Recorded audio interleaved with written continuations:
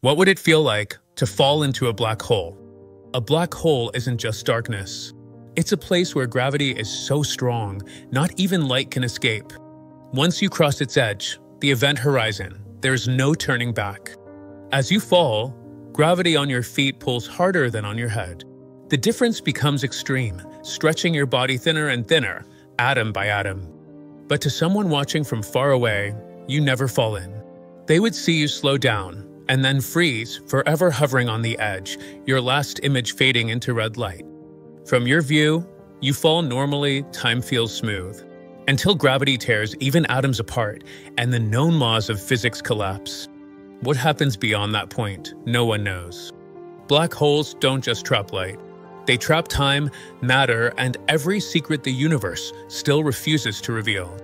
This is AI Lens Learning the Universe, one story at a time.